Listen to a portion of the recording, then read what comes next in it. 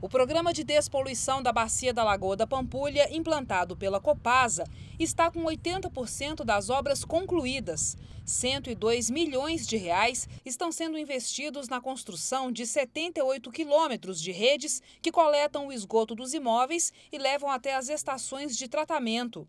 Também estão sendo construídas quatro estações elevatórias. Ao todo, são 38 obras, 7 em Belo Horizonte e 31 em Contagem. Entre as que já estão prontas está a despoluição do córrego Santa Luzia, no bairro Ressaca. O esgoto já não é mais despejado aqui e os moradores ficaram livres do mau cheiro. A vida voltou a habitar o córrego. Melhorou 80%, em vista que era.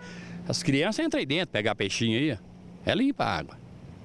Tem mais, mais aquele mau cheiro de antigamente, não tem? Isso aí não tem, não. No bairro Colorado, também em Contagem, o trabalho de despoluição do córrego da Avenida 2 está no fim. Falta apenas a desapropriação de três imóveis, já determinada pela Justiça para ser feita ainda este mês. Outra obra praticamente pronta é a construção da rede coletora do Zoológico de Belo Horizonte.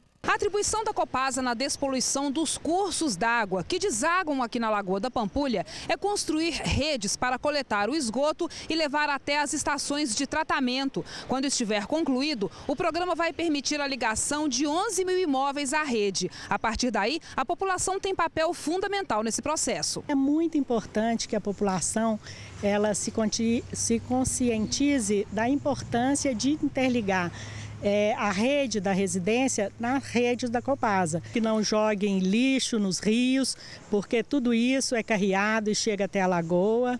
E também né, no sistema de esgotamento sanitário, que prejudica muito é, os equipamentos eletromecânicos, além de aumentar o custo com a manutenção desse sistema.